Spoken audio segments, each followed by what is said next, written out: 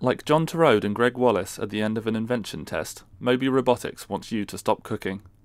The UK company has unveiled what it claims is the world's first robot chef at the Hanover Messe Robotics Fair in Germany.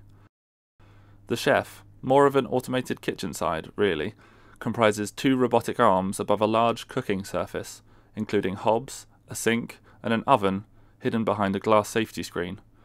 Rather than cooking from a recipe, the system relies on capturing the movement of a human chef with a 3D camera, then recreating their every stir. The robot turns on the hob with a deft finger before picking up some butter taken from a group of pre assembled ingredients.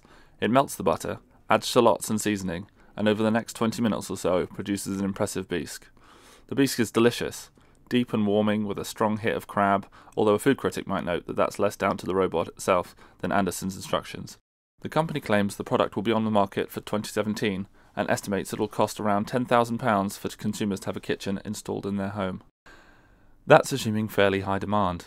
It's unclear how many consumers would want a pair of robot arms making their dinner each night, given that the machine is no faster than an ordinary person. This, Oleynik says, is down to feedback that it would scare people to see a robot chopping onions at inhuman speed.